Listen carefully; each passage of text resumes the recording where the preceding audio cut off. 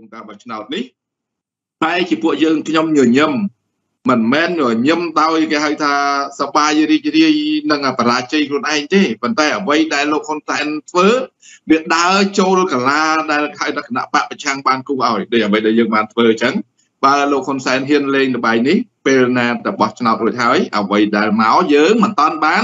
ប្រកាសលទ្ធផលផ្លូវការមកនេះគេហៅថានៅខាងសភាអាមេរិកនេះគេបាន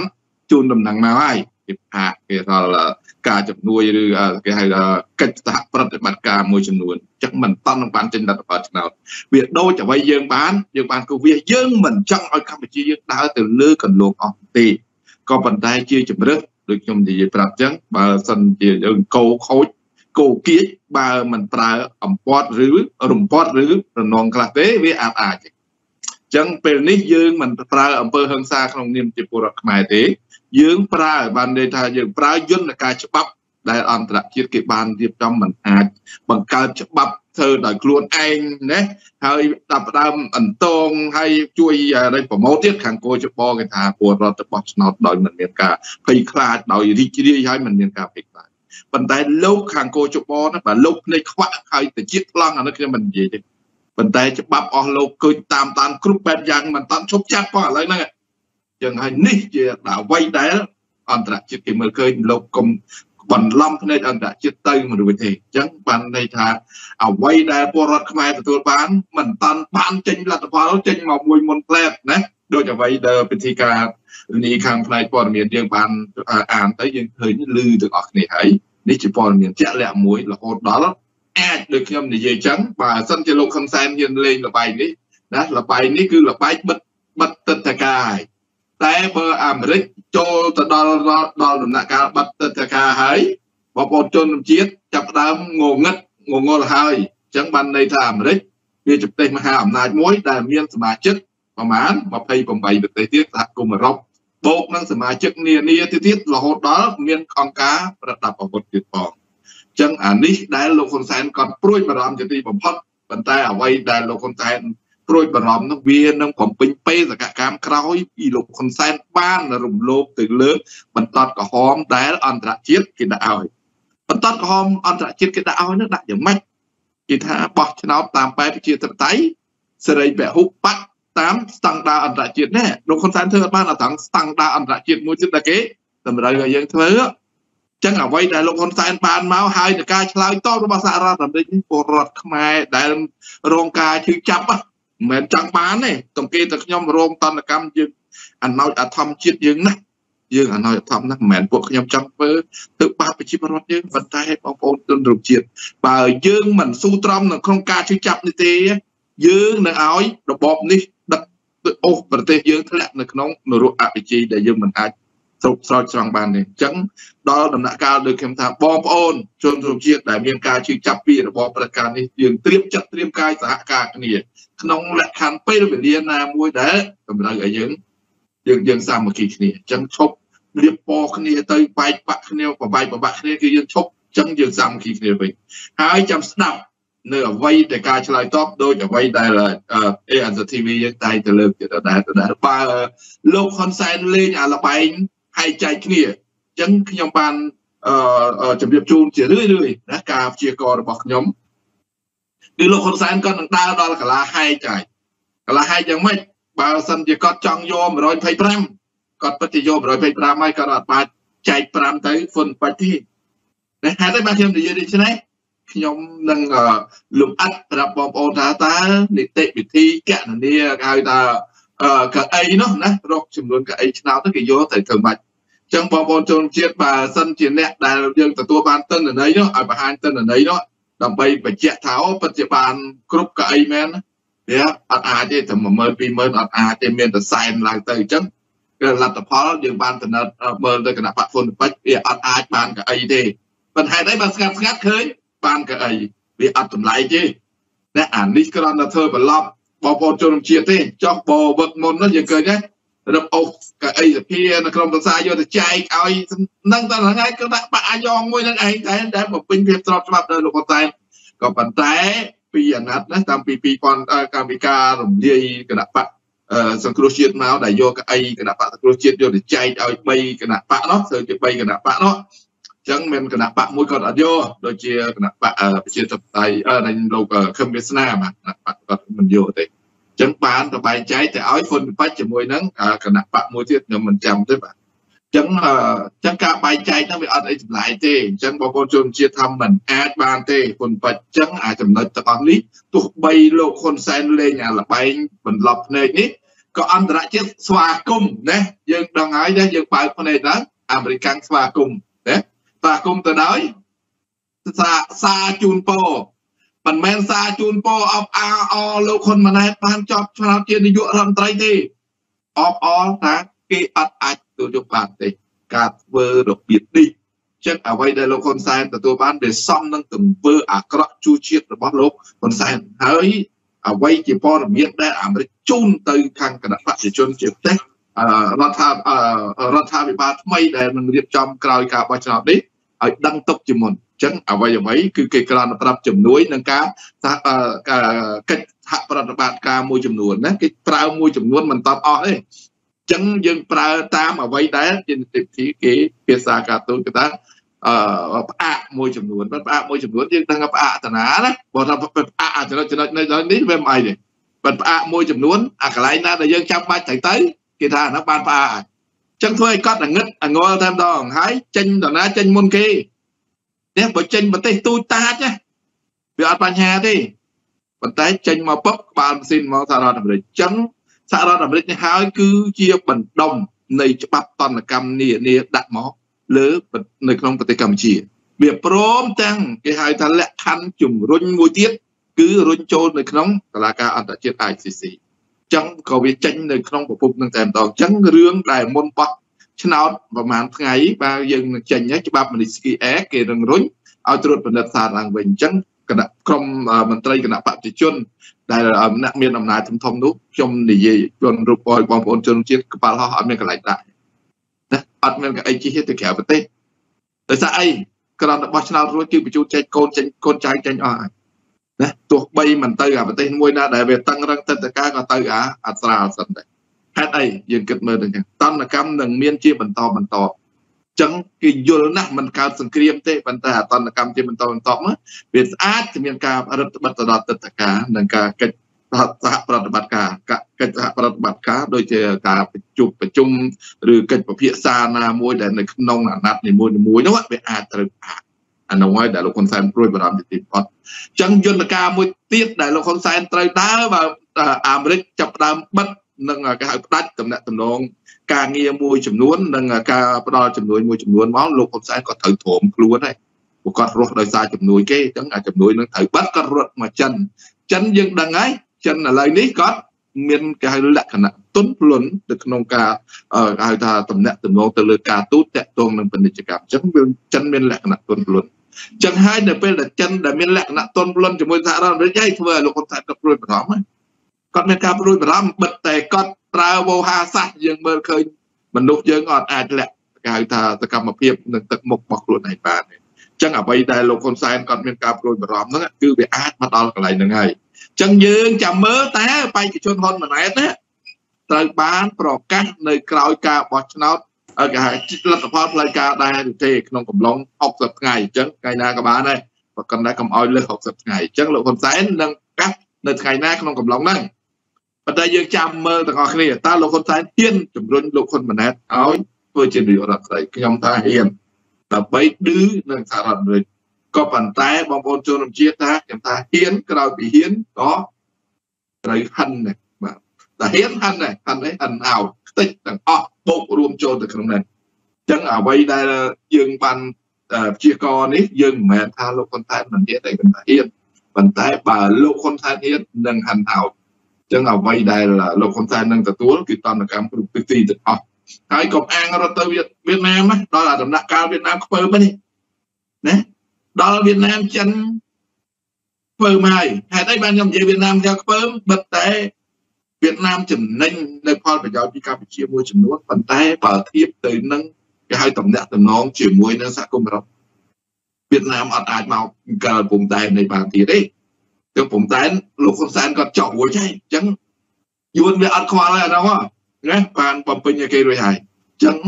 លោកហ៊ុនសែនអឺយួនវាទៅមកសហការជាមួយហ៊ុនសែនទៀតមានតែខាតមានតែខាតជនជាតិឲ្យមកអស់ហើយសជាតិចូលអស់ហើយមានអីទៅព្រួយនេះពូទៅលោកពូសិដ្ឋាឋានណាបានហើយទៅចូលបោះអស់ហើយអញ្ចឹងវាត្រូវការទៀតវាបំពេញរួចអស់ហើយអញ្ចឹងវាអត់ត្រូវការប្រយោជន៍អីវាហ៊ុនសែនតទៅទៀតទេចំណុចទាំងអស់នេះហេតុតែលោកហ៊ុនសែនក៏ព្រួយបារម្ភបើយួន ក្រាន់តែអែអែអែអែអែតែលោកហ៊ុនសែនគេហៅថាកុំឲ្យតែលោកហ៊ុនសែនខឹងច្រឡោតដេញទុនជាតិយួនចឹងចឹងយួនវាប្រកែទៅនយោបាយយួនប្រកែស្ទាបស្ទងស្ទាបស្ទង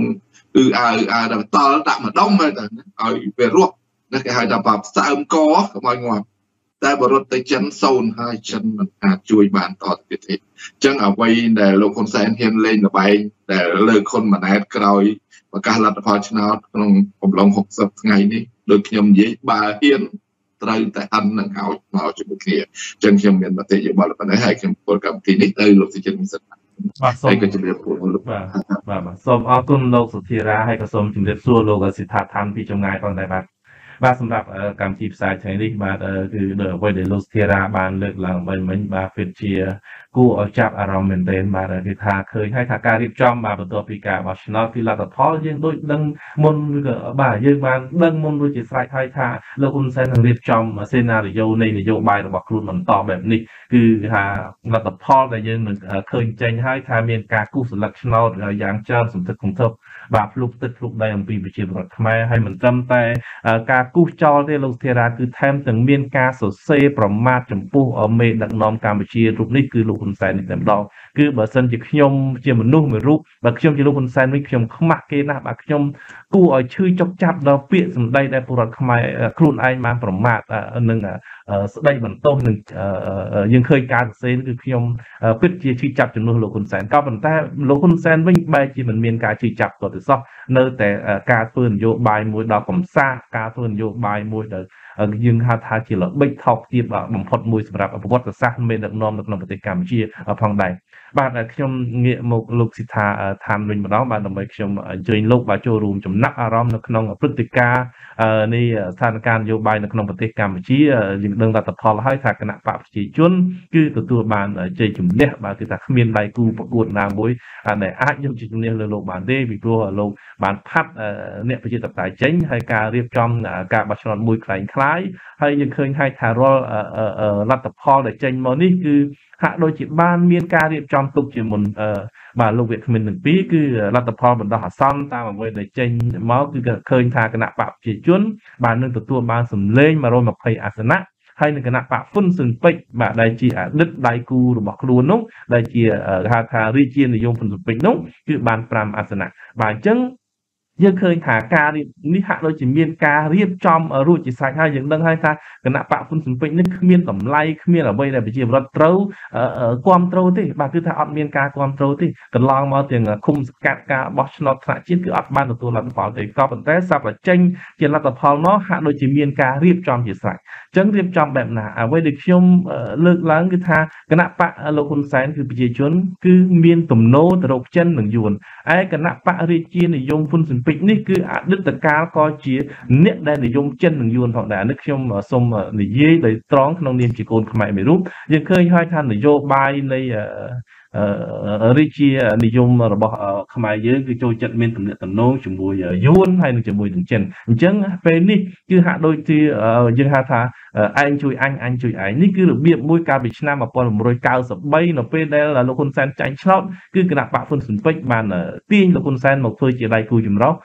នាយករដ្ឋមន្ត្រីទី1ទី2ទៅតែពេលនេះគឺថាលោកហ៊ុនសែនហាក់ដូចជាកំពុងតែចាប់គណៈបកហ៊ុនស៊ុនពេជ្រដែលជាគណៈបករាជានិយមមកបូករួមគ្នាមួយហើយលេងល្ខននយោបាយបន្តទៀតបាទអញ្ចឹងខ្ញុំសូមអញ្ជើញលោកព្រឹទ្ធាចារ្យបាទលោកសិដ្ឋាឋានតើលោកមានចំណាក់អារម្មណ៍បែបណាដែរបាទសូមក្រុមអញ្ជើញបាទ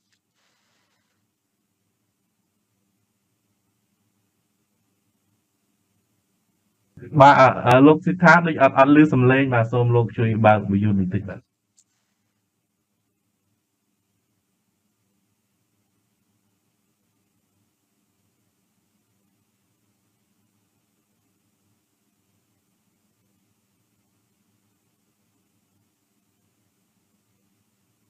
ឬនៅ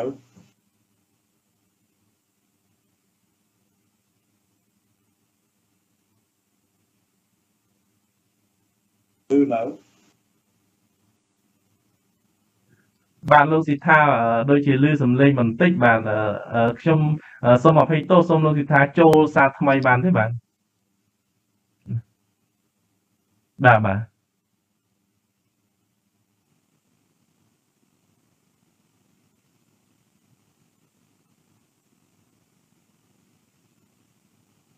បាទសូមអភ័យទោសបាទចំពោះទស្សនិកជនបាទដោយសារលោកសិដ្ឋាអត់ឮសំឡេងលោកសិដ្ឋាលោកសិដ្ឋាអាចមានអ្វីបន្ថែមបាទបន្តិចទៀតទេមុននឹងចូលដល់លោកសិដ្ឋាឋានសាជាថ្មីបាទបាទអរគុណច្រើនដល់សេចក្ដីតកតងនឹងអ្វីដែលលោកសិដ្ឋានៅនៅតែមិនទាន់ឮសំឡេងសូមលោកលោកអាចចុចបិទហើយចាំលោកចូលម្ដងទៀតបាទ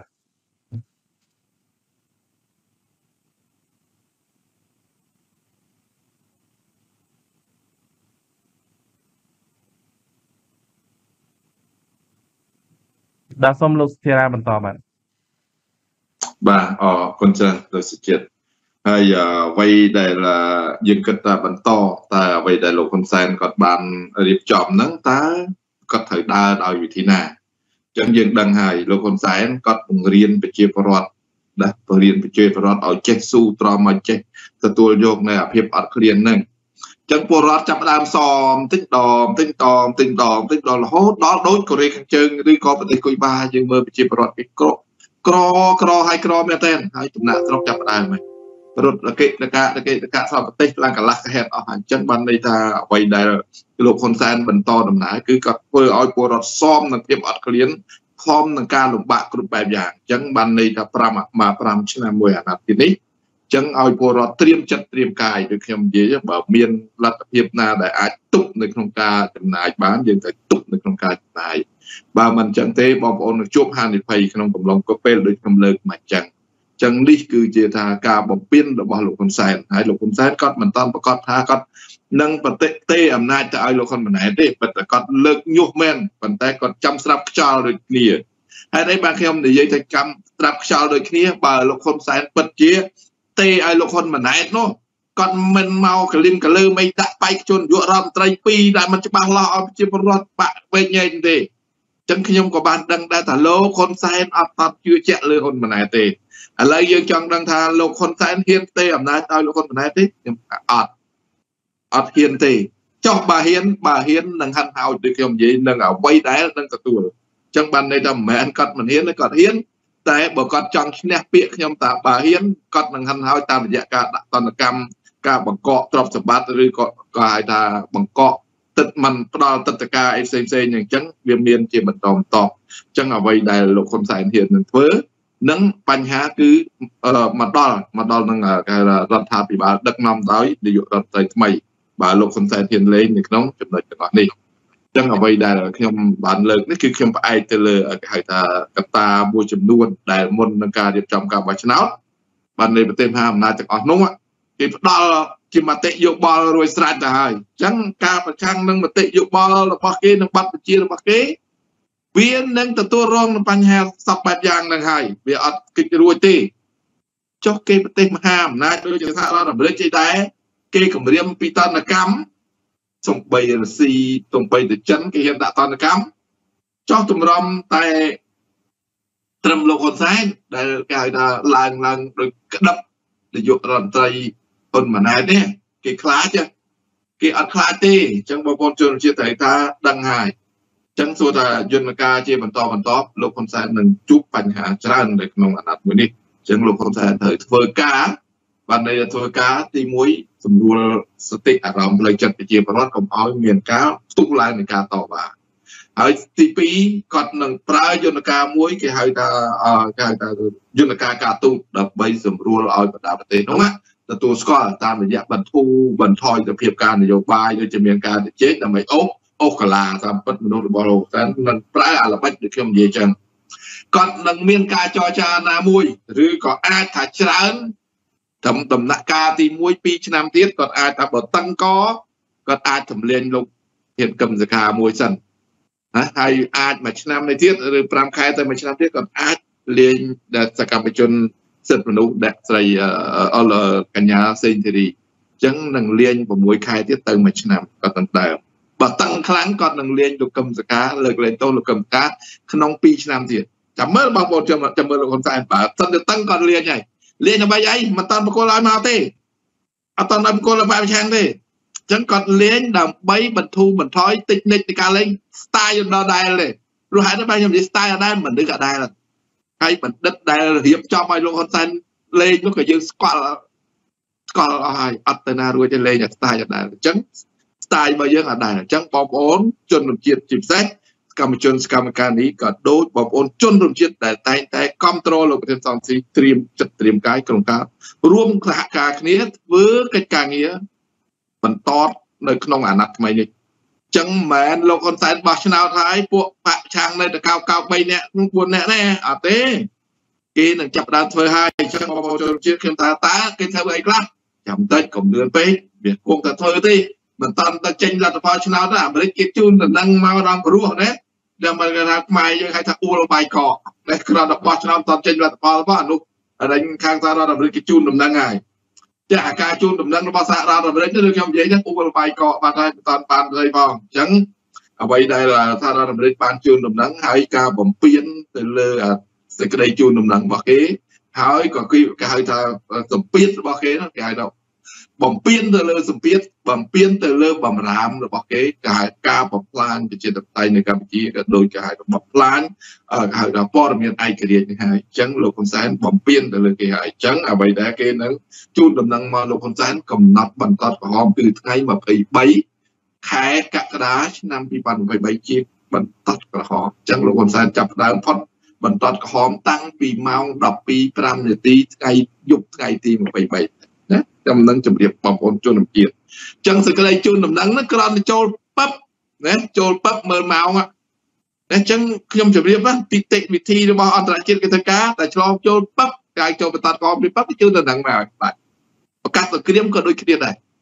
គេអត់ដែលប្រកាសម៉ោងណាទេគេប្រកាសម៉ោង12ណា5នាទីម៉ោងពេលយប់នៅក្នុងប្រទេសចឹងគេជូនដំណឹងឲ្យដឹងមុនម៉ោងប៉ុណ្ណឹងគេបាយទេ ម៉ោងប៉ុណ្ណឹងគេដាក់តនកម្មម៉ោងប៉ុណ្ណឹងគេដាក់គេធ្វើអញ្ចឹងរបៀបដឹងធ្វើកិច្ចការងាររបស់អន្តរជាតិគេគេធ្វើប៉ុន្តែនិយាយពាក្យខ្លះដោយវាមិនអាម៉ងដោយលោកហ៊ុនសែនប៉ុន្តែគេធ្វើអញ្ចឹងខ្ញុំមានមតិយមតែប៉ុណ្្នេះសិនហើយខ្ញុំពលកម្មវិធីនេះជូនទៅលោកទីចិត្តពិសេស បាទអរគុណលោកសិទ្ធិរាបាទក៏ខ្ញុំព្យាយាមតាក់ទងលោកសិដ្ឋាឋានប៉ុន្តែដោយសារតែមានបញ្ហាបច្ចេកទេសក្នុងការតាក់ទងបន្តិចខ្ញុំក៏នៅតែផ្ដល់ឱកាសជូនលោកដើម្បីចូលរួមហើយខ្ញុំនៅតែព្យាយាមតាក់ទងលោកសិដ្ឋាបន្តទៀតបាទលោកមេសិទ្ធិរាបាទក៏ដូចជាបងប្អូនយើងគាត់បានចូលរួមខមមិនក៏គាត់បានលើកឡើងដែរថាដូចបងនៅ account ព្រែកឯងសែនឆ្ងាយអាឡ័យក៏គាត់លើកឡើងអំពីបញ្ហាផ្ទៃក្នុងបាទផ្ទៃក្នុងរបស់គណៈបព្វជិជនក៏ជាជំរើសមួយជារឿងមួយដែល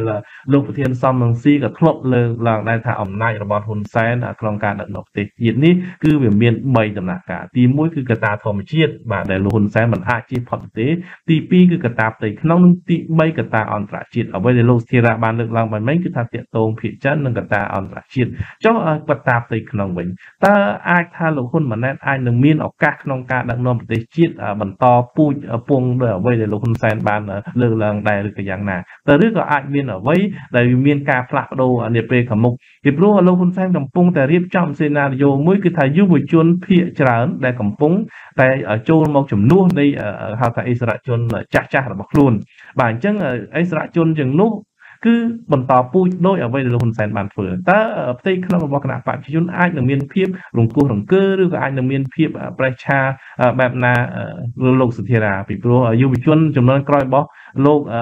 ខាងគណៈបព្វជិជននោះក៏ភាគច្រើនក៏រៀននៅប្រទេសសេរីផងដែរតើអាចវិវត្តទៅរកសហរដ្ឋអាមេរិកឬក៏យ៉ាងណាបាទសូមអញ្ជើញលោកសុធារាបន្ថែមបាទបាទអរគុណច្រើនលោកសុជាតិ ឥឡូវខ្ញុំនិយាយយន្តការអន្តរជាតិសិនធម្មតាធ្វើអីក៏ដោយគេមានចាប់ផ្ដើមពីចំណុច0ចេញទៅ1 2 3អញ្ចឹងចំណុច0យើងមានឃើញហើយដូចខ្ញុំនិយាយមិញនេះគឺជាយន្តការអន្តរជាតិអញ្ចឹងអន្តរជាតិជាយន្តការធំហេតុអីបាទខ្ញុំនិយាយអន្តរជាតិគឺយន្តការធំមុននឹងយើងកើតប្រទេសណាសូមជម្រាបបងប្អូនជនរួមជាតិអីហ្នឹងតែមុននឹងយើងកើតបានជាប្រទេសមួយយើងត្រូវធ្វើអីខ្លះសូម្បីតែប្រទេសតៃវ៉ាន់មួយគេអត់ទទួលស្គាល់ប្រទេសហុងកុងមួយគេអត់ទទួលស្គាល់បងប្អូនជនរួមជាតិ ចឹងយន្តការរបស់គេយើងត្រូវស្ដាប់ពីយន្តការអន្តរជាតិជាជាចម្បង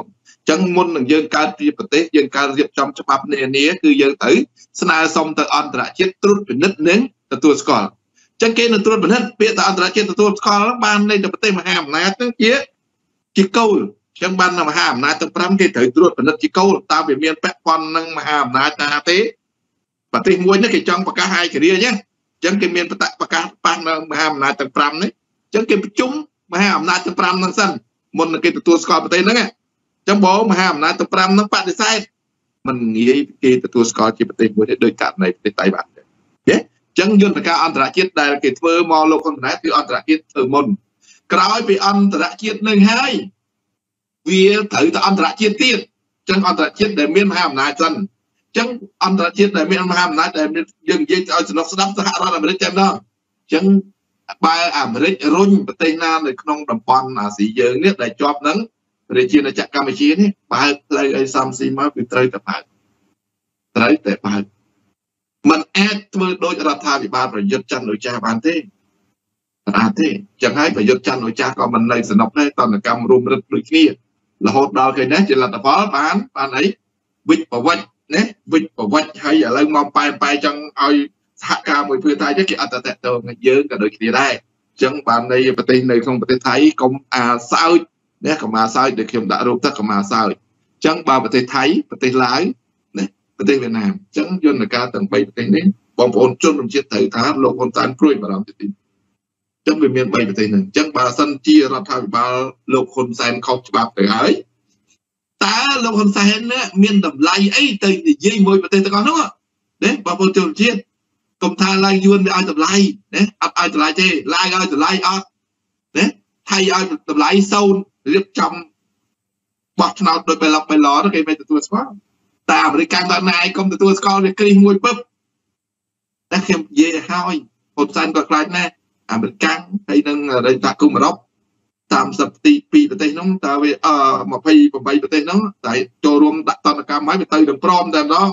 បើវាបង្កក់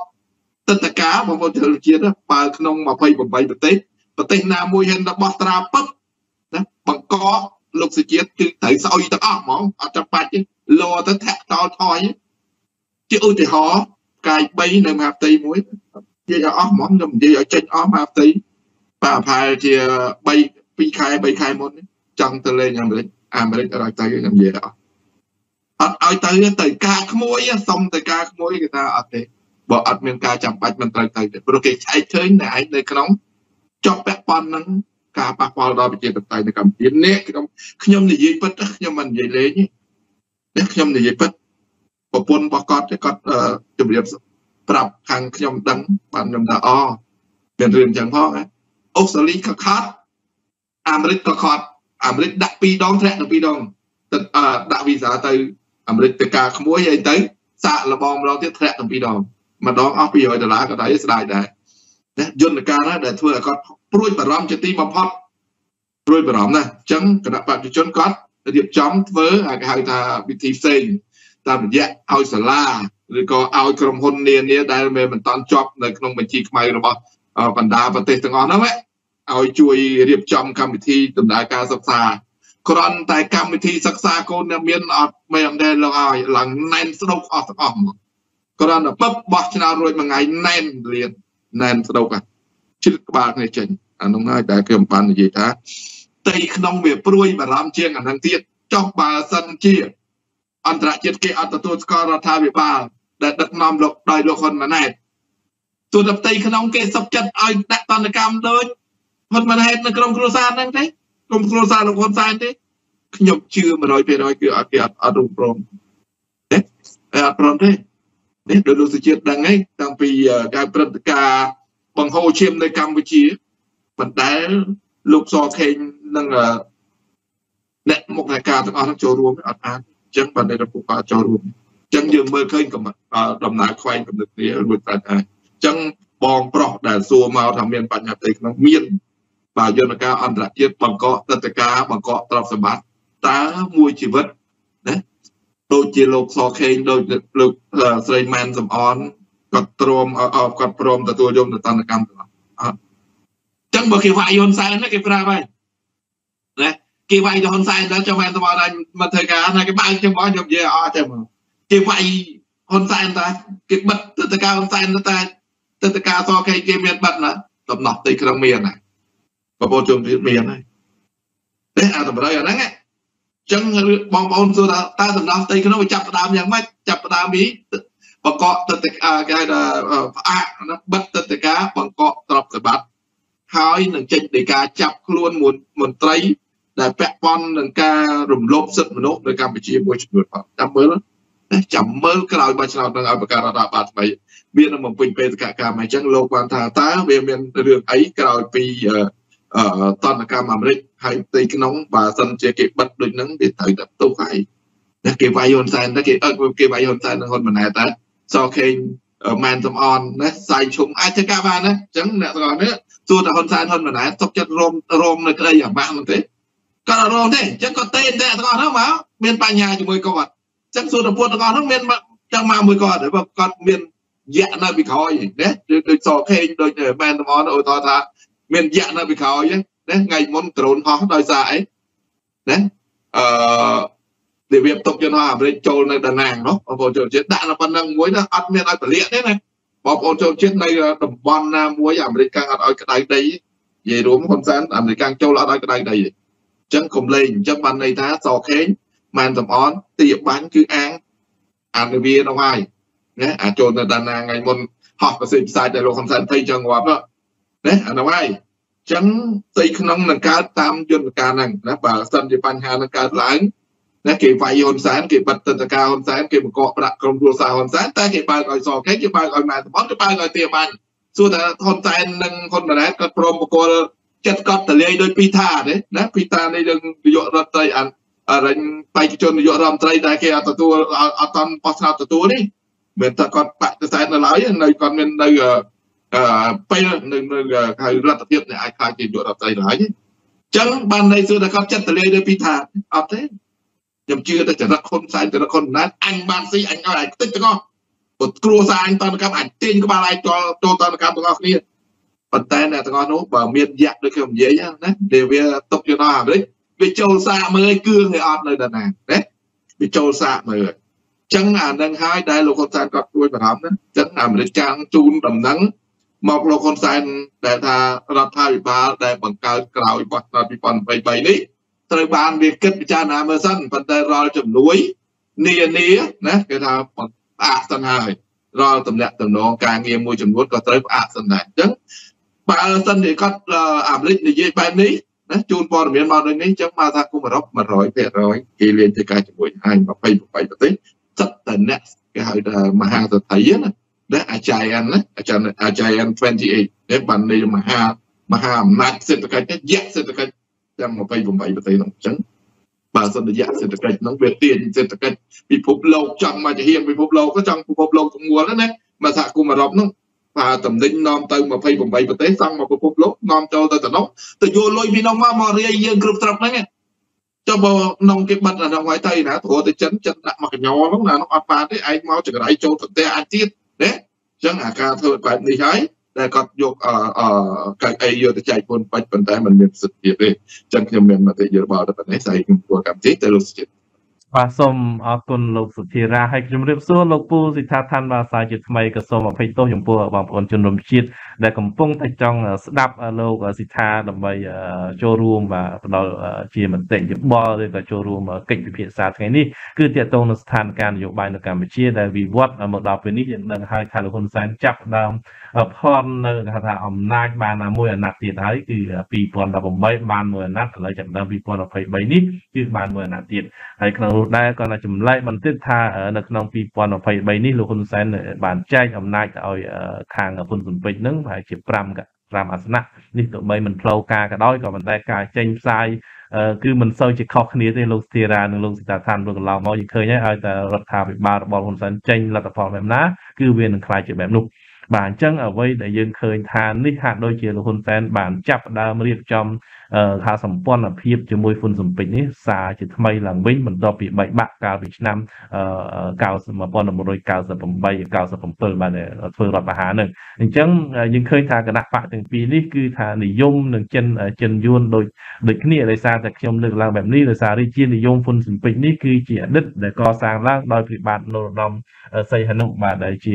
និយាយទៅប្រវត្តិសាស្ត្រ ក៏បានលើកឡើងដែរអំពីការទំនាក់ទំនងរវាងសម្ដេចនរោត្តមសីហនុវៀតណាមជាមួយនឹងចិនជាតារាបបាទអញ្ចឹងលោកសិដ្ឋាតើមានអ្វីដែលត្រូវចូលរួមបាទសូមគោរពអញ្ជើញបាទបាទអរសូមជម្រាបសួរសូមខន្តីអភ័យទោសបាទសូមខន្តីទោសជម្រាបសួរមួយទៅពីនិងប្រជាពលរដ្ឋខ្មែរប្រតិរិទ្ធរបស់គ្រប់ព្រះអង្គម្ដងទៀតសាថ្មី អឺក្មួយទាំងពីរលើកឡើងរឿងបញ្ហាស្ដេចនិងហ៊ុនស៊ិនប៉ិចហើយនិងពួកគណៈបកប្រជាជននឹងខ្ញុំបានលើកបញ្ហានេះមកនិយាយហើយកាលមុនខ្ញុំស្គាល់ទុកប្រពន្ធសៀននោះណាទៅចូលរួមដៃរួមចំណាយចូលជើងចូលដៃជាមួយពួកគណៈបកប្រជាជននោះព្រោះពួករាជានិយមនោះគិតថាប្រយោជន៍ជាតិជាធំពួកកម្ពុជាសពថ្ងៃនេះគេបំពាក់នៅសិទ្ធិសញ្ញាប៉ារីហើយអឺ ការសិទ្ធិសញ្ញាប៉ារីនេះនាំមកសិទ្ធិសេរីនិងការគោរពសិទ្ធិមនុស្សនឹងគ្រប់បែបយ៉ាងដើម្បីប្រជាពលរដ្ឋខ្មែរនឹងមិនក៏ខ្លួនឯងទៅគ្រប់គ្រងគណៈបកមួយដែលមានមហិច្ឆតាដែលយើងជាខ្មែរដឹងហើយខ្ញុំបានជម្រាបអ្នកស្ដាប់ខ្ញុំហើយ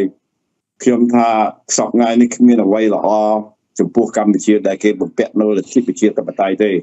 ព្រោះកាលណាគេបំពាក់នៅប្រទេសប្រជាធិបតេយ្យណាយើងទាំងអស់គ្នាខ្មែរទូទាំងប្រទេសបាន ទទួលសិទ្ធទទួលដល់ការអនុគ្រោះគុណអនុគ្រោះពន្ធហើយនឹងបរទេសគេបញ្ចគេជួយរហូតតាំងពីសិទ្ធិសញ្ញាប៉ារីហ្នឹងមកហើយខ្ញុំបានលើកបញ្ហានេះជម្រាបហើយខ្ញុំបានស្កល់ទោសតកោសៀអនុនឹងហើយអ្នកទាំងពីរចាំហើយលើកមុននោះខ្ញុំថាបើកម្ពុជាកណ្ដាលបាត់ដោយចំណននេះគឺដោយសារប្រពន្ធសៀអនុនឹងហើយគេខ្ញុំយកហេតុផលហើយខ្ញុំយកមកនិយាយហើយព្រោះវាកាន់តែច្បាស់ណាស់ទៅហើយ តែខ្ញុំថាអ្នកដែលធ្វើឲ្យកម្ពុជាបាត់នៅប្រជាធិបតេយ្យហើយអាចបាត់ទឹកដីកណ្ដាលបានគឺគ្រួសារសៀអនុនឹងហើយនឹងត្រកូលហ៊ុននេះហើយឥឡូវនេះវាកាន់តែជាការពិតណាលើកនេះវាចែកឲ្យ5អាសនៈអីចឹងទៅតែខ្ញុំបានជម្រាបហើយដែលស្អីដែលពួកគណៈបកប្រជាជនធ្វើមកលើខ្មែរយើងជឿចាប់ណាស់ដូចជាការបោះឆ្នោតចប់ហើយវាតាមចាប់ នរណាគូខ្វែងតាមអីគឺថាវាវាគ្រប់គ្រងយើងពេញទំហឹងហើយហើយគ្មានលក្ខណៈណាមួយដែលបងប្អូនមិនដឹងថាស្អីដែលគេធ្វើទេព្រោះយើងជាខ្មែរយើងខ្លាចធំបំផុតនៃគុំយួនដើរតួជាខ្មែរហើយខ្ញុំបានមើលឃើញបញ្ហាហ្នឹងខ្ញុំបានជម្រាបអ្នកស្ដាប់ខ្ញុំហើយខ្ញុំបានយកបញ្ហាហ្នឹងខ្ញុំថា40ឆ្នាំមុនកម្ពុជានឹងធ្លាក់ក្នុងកំដាប់ដៃពួកគណៈបកយួននេះអើយឥឡូវសពថ្ងៃវាកាន់តែច្បាស់ហើយយើងគិតមើល ក្នុងកម្ពុជាបោះឆ្នោតបោះឆ្នោត5ឆ្នាំម្ដងបោះឆ្នោតលើកទី1ដែលមានលក្ខណៈត្រឹមត្រូវមានការសង្កេតពីអន្តរជាតិអ៊ុនតាក់នោះគឺបោះឆ្នោត93 93វាចាញ់វាចាញ់ពួកអានោះខ្ញុំបានលើកឡើងនិយាយហើយវាចាញ់ភ្លាមវាចង់បង្កើតសង្គ្រាមដល់ពីពេលនោះមកហ្នឹងដល់ហើយកោវាធ្វើរដ្ឋប្រហារឆ្នាំណា97មួយឆ្នាំក្រោយពីបោះឆ្នោត98នោះ5ឆ្នាំម្ដងនោះអញ្ចឹងហើយវា ធ្វើរដ្ឋប្រហារ97មកមកដល់សប្ងាយខ្មែរស្លាប់រហូតកម្ពុជាគ្មានលទ្ធិប្រជាធិបតេយ្យការបោះឆ្នោតជាការរៀបចំហើយនឹងការក្រាញអំណាចនេះវាគ្រោះថ្នាក់ចំពោះជាតិសាសន៍ខ្មែរខ្ញុំចង់ជម្រាបទៅចោះ98វា7ក៏ធ្វើរដ្ឋប្រហារបានធ្វើរដ្ឋប្រហារជិះជាន់ខ្មែរគ្រប់បែបយ៉ាងគ្មានហ៊ុនសំបែកគ្មានគណៈបកប្រឆាំងរហូតមកដល់2013ការជិះចាប់ធ្វើការធ្វើទុកបុកម្នេញប្រជាពលរដ្ឋហ្នឹងយើងរើបំរាស់ទៅ ដោយសារស្អីដែលយើងដល់ពីដើមឡងច្រើនអាណត្តិមកតែយើងរើរួចព្រោះវាបានសម្លាប់ច្រើនណាអ្នកខ្មែរអ្នកជាតិនិយមក្នុងចំណនហ៊ុនសំបែកនោះវាសម្លាប់ឡើងរង្គាលខាងពួកពោតពោតអ្នកជាតិនិយមក៏វាសម្លាប់ខាងខ្មែរសេរីខាងហ៊ុនសំបែកក៏វាបំផ្លាញសម្លាប់ហើយបំផ្លាញរហូតដល់2013ខ្មែរឈឺចាប់នឹងការប្លន់ដីធ្លី នឹងវាធ្វើទុកបុកម្នេញឈូសផ្ទះដណ្ដើមទាំងប្រទេស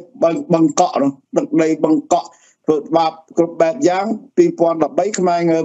ម៉ែងើបមករំដោះជាតិសង្គ្រោះជាតិមកសង្គ្រោះជាតិទំហំនៃការឈឺចាប់យើងបានថាទាំងកន្លះនគរអាហ្នឹងវាឃើញម្ដងទៀតហើយអញ្ចឹងវាសំលេងសង្គ្រោះជាតិដល់សំលេងសង្គ្រោះជាតិមកមានបាក់ភ្លើងទៀនគ្រាន់តែគ្នាលិចផ្លយមកបន្តិចប្រជាធិបតេយ្យធំហើយខ្មែរ នឹងគ្រប់គ្រងវាមកបិទមិនឲ្យបោះឆ្នោតអានោះខ្ញុំសូមជម្រាបទៅទៅបងប្អូនមិនយល់នៅចេតនាគេដូចខ្ញុំជម្រាបចឹងមកអាណត្តិទៅមកអាណត្តិតើអាណត្តិណាមួយដែលខ្មែរនឹងคลายទៅជាជនជាតិភាគតិចនោះដែលខ្ញុំបារម្ភណាមានអាណត្តិឲ្យគេគ្រប់គ្រងយើងច្រើនទៅយើងคลายជាជនជាតិភាគតិចឥឡូវបងប្អូនចង់ដឹងបោះឆ្នោតសួរមតិយោបល់នៅកម្ពុជាក្រមមើលបើបោះឈ្នះចាញ់យូឈ្នះយួនយួនគេ ជាប្រជាពលរដ្ឋនៅខ្មែរក្រមហ្នឹងគេសង្កត់យកបាត់ហើយយកជាតិយួនមកព្រឹកព្រឹកដីហើយម៉ែកណ្ដាលក៏ដូចគ្នាដែរក្នុងលក្ខណៈនេះហើយដែលខ្ញុំបារម្ភព្រោះអារឿងចូលចិត្តនឹងយួននោះខ្ញុំបានបកស្រាយច្រើនលើកច្រើនសារហើយជារឿងនយោបាយដែលមហាអំណាចគេធ្វើឲ្យបុព្វហេតុអីបានជាគណៈបកដតីទៀតណាក៏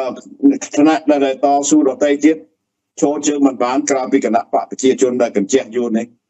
គឺដោយសារយើងមានស្ថាប័នមួយបម្រើគេនឹងឲ្យស្ថាប័នស្ដេចស្ថាប័នសាសនា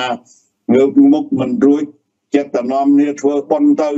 អាគេវាយសំពងធ្វើបាបប្រជាពលរដ្ឋចិត្តតែនាំគ្នាទទួលយកទៅ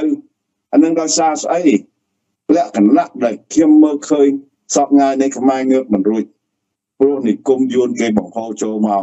79មកម៉ាសារីម៉ាសារី និគមទាំងអស់នោះហើយដែលគេតាមគ្រប់គ្រងគណៈបកមួយបំរើប្រយោជន៍យួនមិនខុសពីខ្មែរក្រមទេហើយបងប្អូនពិចារណាបន្តិចទៅមើលបើឲ្យពួកនេះកាន់កាប់ខ្មែរ30 40 50 60ឆ្នាំណារបាយការណ៍គេថា2050ហ្នឹងកម្ពុជាបាត់ទៅយូរហើយឥឡូវហ្នឹងវាកាន់តែក្លេចហើយណាខ្ញុំមើលឃើញដូចថា សង្គមយុរ៉ុបលោក Brad Adam លោក Martin Clark គាត់ជជុំជួបជុំបងប្អូនខ្មែរនៅកាលីហ្វ័រញ៉ាកាមុនគាត់ថាចឹងហើយសង្គមអន្តរជាតិគេដើរតួនាទីអង្គការសហជីវជាតិគេបានកោតទោសសង្គមអន្តរជាតិគេមើលឃើញការមិនត្រឹមត្រូវនៃការបោះឆ្នោតតែខ្មែរខ្លួនឯងត្រូវតែយកបញ្ហាហ្នឹងមកដោះស្រាយដោយចេញមកភ្លុកទឹកភ្លុកដីថាយើងមិនទទួលទេការបោះឆ្នោតនេះវាបំពេញខ្មែរណាមួយអាណត្តិទៅមួយអាណត្តិ សពថ្ងៃនេះពួកនឹងវាអត់ខ្វល់អីទាំងអស់ហើយមើលពួកហ៊ុនសំពេចមើលយើងគិតមើលគណៈបកនេះណាអ្នកគ្រប់គ្រងរបស់ខ្លួនពួកអាហ៊ុនសែនទៅធ្វើរដ្ឋប្រហារការ7សម្រាប់បញ្ចេះតិចតែយើងសួរមើលថាស្ដេចទាំងអស់នោះវាឈ្គួលហើយជាបានជាទៅគ្រប់គ្រងទៅចូលរួមដើរជួបជើងអាអ្នកគាត់សម្រាប់អ្នកគ្រប់គ្រងរបស់ខ្លួនអញ្ចឹងហើយបានខ្ញុំស្គាល់គោអាពុជស្ដេចខ្មែរចំណនេះអត់បានការទេបាទ វាថោកទាបហើយវាអត់មានភាពចំណេញដល់ជាតិសាសន៍យើងទេហើយបបផាតសំខាន់ដែលខ្ញុំលើកជម្រាបបងប្អូនលើកជាលើកមុនម្ដងហើយខ្ញុំថាបរទេសតែកាលណាជាចង់បានទឹកដីយើងគេចូលមកគេលើកបន្ទប់មនុស្សដែលបម្រើគេលើកបន្ទប់ពួកគណៈបកប្រជាជនសពថ្ងៃហ្នឹងលើកបន្ទប់ស្ដេចសពថ្ងៃហ្នឹងហើយអាមនុស្សដែលមិនគិតប្រយោជន៍ជាតិដែលមិនការពារនៅប្រយោជន៍ប្រជាពលរដ្ឋណាបើទៅជាមនុស្សមានតម្លៃជាបរិយជន ជាអីណាសម្ដេចកតិបណ្ឌិតអីណាហើយស្ដេចក៏ដូចគ្នាដែរមើលកម្ពុជាក្នុងការគ្រប់គ្រងរបស់គណៈបកមួយដែលចិញ្ចឹមចិត្តតាមតែប្លន់នឹងសម្រាប់ខ្មែរណាស្ថាប័ននីមួយមួយសិតថាជាមនុស្សរបស់ពួកគេហើយជាពិសេសស្ដេចនឹងហើយជាពិសេសអាហ៊ុនសែនណាបើវាស្ថាប័នទាំងពីរនេះវាគិតពីប្រយោជន៍ជាតិវាត្រូវតែដឹងហើយសាធិសទ្ធិសញ្ញាប៉ារីនឹងគឺថាគ្មាននរណាមួយលូកដៃក្នុងកម្ពុជាបានជាដាច់ខាតដោយសារស្អី សន្ធិសញ្ញាប៉ារីនឹងគេប្រគេគេបង្កើតឡើងនៅបំពាក់នៅការបោះឆ្នោតត្រឹមត្រូវនិងការគោរពសិទ្ធិគ្រប់បែបយ៉ាងហើយថែមពីលើនឹងទៅទៀតគឺគេមិនចង់ឲ្យបរទេសណាមួយណាដែលយកតបមកតាំងហើយនឹងរូបដៃក្នុងកម្ពុជាវិលត្រឡប់នៅសង្គ្រាមស៊ីវិលដែលយើងរៀបរាប់មកតាំងពី70រហូតដល់79ហើយអាចចៅយួន500នោះមកបំពេញខ្មែរ79ម្ដងទៀតរហូតដល់2091ទៅតែមានសិទ្ធិញ្ញាប៉ារីអញ្ចឹងហើយបានសិទ្ធិញ្ញាប៉ារីគេសង្កត់ធ្ងន់ណាស់ថាមិនអោយបរទេសលូកដៃមានតាំងស្ថាប័នទាហានអីនឹងស្រុកខ្មែរនឹងបើស្ថាប័នស្ដេចនឹងអាហ៊ុនសែននេះវាយល់ពីបញ្ហាជាតិវាស្រឡាញ់ខ្មែរពិតប្រកបខ្ញុំបានជម្រាបហើយ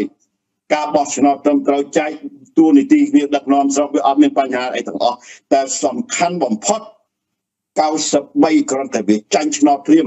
វាចង់បង្កើតសង្គ្រាមសង្គ្រាមព្រាមថ្មីថ្មីនេះក៏ដូចគ្នាដែរ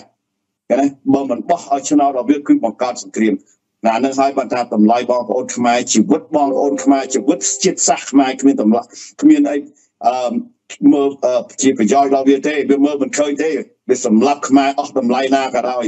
អានោះហើយបានខ្ញុំថាគ្រោះថ្នាក់គ្រោះថ្នាក់ចំពោះកម្ពុជាមិនមែនត្រឹមតែប្រជាធិបតេយ្យទេដែលយើងចង់បានសំខាន់បំផុត គឺទប់ស្កាត់នៅនិគមយួនធ្វើទុកបុកម្នេញខ្មែរដូចគេធ្វើសពថ្ងៃនេះបាទសូមអរគុណលោកសិដ្ឋាឋានបាទខ្ញុំងាកមកលោកសុធារាវិញម្ដងលោកសុធារាគឺថាយើងឃើញហើយថាការរៀបរដ្ឋមន្ត្រីឬហៅថារដ្ឋាភិបាលបន្តរបស់លោកហ៊ុនសែនគឺយើងឃើញបានចេញជារូបរាងទោះបីមិនមែនជាផ្លូវការមែនក៏ប៉ុន្តែវាអាចនឹង ថា90%ជាផ្លូវការលោកជារាហើយក្នុងនោះយើងឃើញថាមានការលើកបន្តកន្ទុយបន្ទុកកូនរបស់ខ្លួនឯងគឺថាដូចជាលោកហ៊ុនសែនគឺថាមានលោកហ៊ុនម៉ាណែតបាទហើយលោកសខេងមានលោកសសុខា ហើយលោកទាបាញ់មានលោកទាសីហាជាដើមអញ្ចឹងការរៀបចំយុវជនបន្តវេននេះបន្តពូជរបស់ខ្លួននេះហាក់ដូចជាវាមានសេនាសេណារីយ៉ូរៀបចំមួយដើម្បីគេហៅថាជួយគ្នាទៅវិញទៅមកនៅក្នុងគណៈបកប្រជាជនកម្ពុជាហើយយើងឃើញហើយថាអ្វីដែលថ្នាក់ដឹកនាំថ្មីនៃគណៈបកប្រជាជន គឺជាបញ្ញវន្តឬក៏ជាយុវជនដែលបានរៀនសូត្រនៅប្រទេសសេរីជាពិសេសលោកខាងលិចគឺដូចជាសហរដ្ឋអាមេរិកជាដើមតើព្រោះមានបងប្អូនខ្លះដែលគាត់គ្រប់គ្រងលោកហ៊ុនសែនគាត់តែងថាលើកឡើងថាអ្វីដែលយើងលើកឡើងគឺតែងតែលើកពីអាមេរិកអាងអីគឺអាងអាមេរិកបាទអាងអីគឺអាងអាមេរិកតើលោកសុធារាយល់យ៉ាងណាដែរថាយើងឃើញថាពិភពលោកនេះ ប្រទេសដែលនិយមមិនមែននិយមទេគឺមិនន័យថាការសហការជាមួយនឹងសហរដ្ឋអាមេរិកការធ្វើការងារបែបប្រជាធិបតេយ្យការគោរពសិទ្ធិមនុស្សគឺតែងតែមានការរីកចម្រើនការលូតលាស់ផ្នែកវិស័យសេដ្ឋកិច្ចហ្នឹងយ៉ាងខ្លាំងឯប្រទេសដែលផ្ដាច់ការប្រទេសដែលហៅថានិយមផ្ដាច់ការពុករលួយនេះគឺជាប្រទេសដែលក្រីក្រអញ្ចឹងសួរលោកអ្នកដែល comment ហ្នឹងសួរថាតើលោកចង់ឲ្យប្រទេសជាតិក្រីក្រឬក៏លោកចង់ងាកទៅរកជាមួយនឹងប្រទេសសេរីដើម្បីឲ្យសេដ្ឋកិច្ចកម្ពុជារីកចម្រើនយើងឃើញប្រទេសថៃដែលអាចជួយពលករខ្មែររាប់លានអ្នកបាទដែលកំពុងធ្វើការហើយយើងមើលនៅប្រទេសកូរ៉េខាងត្បូងដែលជាអ្នកដែលសហការជាមួយសហរដ្ឋអាមេរិកដែរហេតុអ្វីបានពលរដ្ឋខ្មែរយើងទៅធ្វើការនៅទីនោះរាប់ម៉ឺនអ្នកនៅប្រទេសជប៉ុនក៏ដូចគ្នាដែរអញ្ចឹងហើយតើការសហការជាមួយសហរដ្ឋអាមេរិកនេះវាមានចំណេញអីខ្លះទៅដល់ប្រទេសជាតិរបស់យើងហើយសហរដ្ឋអាមេរិកនេះមិនមែនមកគ្រប់គ្រងប្រទេសខ្មែរទេគឺគាត់តែចង់ឲ្យខ្មែរមានលទ្ធិប្រជាធិបតេយ្យមានការគោរពសិទ្ធិមនុស្សតែប៉ុណ្ណោះបាទសូមគោរពលោកស្ថិរាបាទចូលរួមបាទ បាទអរគុណច្រើនលោកសុជាតិដែលអ្វីដែលលោកសុជាតិនិយាយអំពីថាពាក្យថាសេដ្ឋកិច្ចគេសំដៅទៅលើពាណិជ្ជកម្មក្នុងពាណិជ្ជកម្មវាមានទីផ្សារហ្នឹងហើយអញ្ចឹងបានន័យថាពាក្យដែលរួមពាក្យថាសេដ្ឋកិច្ចវាមានពាណិជ្ជកម្មនិងទីផ្សារសម្រាប់ធ្វើពាណិជ្ជកម្មបើយើងនិយាយទៅពាណិជ្ជកម្មមួយម៉ាត់គឺយើងសំដៅទៅលើទីផ្សារហ្នឹងហើយអញ្ចឹងបើនិយាយអំពីទីផ្សារមួយម៉ាត់គឺសំដៅទៅលើកន្លែងដែល គេហៅប្រភពនៃហិរញ្ញវត្ថុជាសកលហើយវត្ថុគេហៅថាប្រភពហិរញ្ញវត្ថុជាសកលយើងស្ដាយសំដៅទៅលើប្រាក់ដុល្លារឬមាសអានឹងខ្ញុំនិយាយថាប្រាក់ដុល្លារឬមាសមិនមែនប្រភពហិរញ្ញវត្ថុជាសកលយន់ទេមិនមែនទេណាអញ្ចឹងយើងឃើញប្រហែលថ្ងៃនេះឃើញយន់សាឡបងហ្នឹងមានប្រតិកម្មពិភពលោកដាក់រឹងព្រឹកហើយមកខោចងោចងោចមកលាងសម្អាតវិញប្រកាសខ្លួនឯងណាគេនឹងផ្អាកទៀតណាប្រាក់ដុល្លារគេចង់សាកមើលណា ដល់នោះគេចាប់ដើមត្រៀមត្រៀមគេបានត្រៀមគេបិទបិទងាប់ទាំងអស់មកងាប់ទាំងអស់ចឹងបានហេតុអីបានប្រទេសណាមួយដែលប្រកាសប្រឆាំងនឹងដុល្លារហើយប្រទេសនោះគឺដួលរលំផ្នែកសេដ្ឋកិច្ចតែម្ដងណាដូចវេណេស៊ុយឡាដែលខ្ញុំផ្សាយទៅលើកឲ្យលើកជាប្រទេសគំរូណាតក្រូចកូកាមួយកំប៉ុង20ដុល្លារសហរដ្ឋអាមេរិកយើងគិតទៅ20ដុល្លារសហរដ្ឋអាមេរិកមន់មួយប្រហែល25ដុល្លារមន់ទូចមួយអញ្ចឹងធ្វើឲ្យ ប្រទេសវេណេស៊ុយឡារងនៅក្លោបផ្សាក្រោយមកក៏មានការសម្របសម្រួលមួយសហរដ្ឋអាមេរិកប៉ុន្តែអត់មានការផ្លាស់ប្ដូរមែនប៉ុន្តែដោយសារសភាពការនៅក្នុងតំបន់អាមេរិកវាមិនធ្វើប៉ុន្តែលោក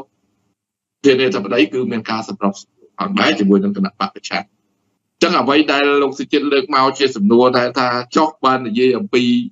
ពាក្យតាទីផ្សារយើងទៅរកកន្លែងដែលអត់មានលុយយើងទៅធ្វើម៉េចដូរចឹងសហភាពសូវៀតគេថាមូលហេតុអ្វីបាន សហភាពសូវៀតដួលរលំនៅក្នុងឆ្នាំ1989ចឹងហេតុអីបានសហភាពសូវៀតរលំចឹងសហភាពសូវៀតរលំគឺជាកត្តាដែលមិនធ្វើគេពាណិជ្ជកម្មតាមរយៈការស្វែងរកទីផ្សារលក់ដូរហ្នឹងឯងតែទីផ្សារគេនិយាយលក់ដូរហើយលក់ហើយនឹងដូរចឹងវាមានតែដូរវាអត់គ្រប់គ្រាន់ទេតើមានលក់ទៀតលក់ដូរនឹងទិញចូលលក់ចេញទិញចូលឥឡូវគេនិយាយថាលក់ចេញទិញចូលគេកម្រដូរដោយសហភាពសូវៀតដែរសហភាពសូវៀតគេអត់លក់ទេគេអត់ប្រើហ្នឹងទេ គេជំនួយរត់ក្រោះមកគេយកទៅវិញកស៊ូគេកាត់កស៊ូបន្តកាត់តាមទីផ្សារដដែលគេយកកស៊ូគេយកពោតគេយកសដែកអីចឹងដែរតែហ្នឹងគេហៅថាការវាយដូរចឹងហើយអារុស្ស៊ីវាអត់គិតរឿងយកមកលក់ទេណាកាលសហភាពសូវៀតមុនគេអត់លក់អីទីផ្សារគេលក់គេឲ្យដូរចឹងហើយបានសហភាពសូវៀតក៏អាចទ្រទ្រង់បានហើយវានឹងគេហៅថាកំណែតម្រង់សេដ្ឋកិច្ចទៀតផងណាអឺដែលទាញឲ្យសហភាពសូវៀតដួលរលំ ចឹងអ្វីដែលលោកសុជាតិលើកឡើងហើយតែទេបើគេនិយាយតែពីទើងទីផ្សារយើងទៅរត់ទៅកន្លែងអត់លុយទៅទៅមិនផងស្ពាយមកប្រវត្តិហ្នឹងទៅដូរគ្នាអង្គ4កំប៉ុងទៅដូរយកខោខ្លីមួយកម្មាមួយអង្គស្ពាយកលកលាស់បេទៅហ៎អត់ទៅទៅបានទេมันអាចយកអង្គឬក៏កៅស៊ូស្រុកយើងដលងមីយកទៅដាក់ឯង2 3កុងតឺន័រយកទៅដូរប្រេងកាតប្រេងសាំងយកមកប្រើបានទេ ជាផុតទេដុល្លារតែនិយាយពីរឿងដុល្លារតារឿងការជួញដូរគឺដុល្លារអញ្ចឹងបើយើងដឹងប្រភពហិរញ្ញវត្ថុហ្នឹងនៅទៅណាគឺអឺរ៉ុបហ្នឹងណាប្រភពហិរញ្ញវត្ថុដែលចែកចាយនៅក្នុងពិភពលោកកុំច្រឡំគឺនៅពួកអឺរ៉ុបហ្នឹងឯងមិននៅអារ៉ាប់ទេណាបងប្អូនជនជាតិថាមាសវាច្រើនមែនមាសនៅចិនច្រើនជាងគេមែនមាសនៅរុស្ស៊ីច្រើនមែនប៉ុន្តែប្រភពនៃការចរាចរហិរញ្ញវត្ថុគឺនៅពួកអឺរ៉ុបហ្នឹងឯងជាពិសេសគឺនៅសហរដ្ឋអាមេរិកហ្នឹង ចឹងបើសិនជាយើង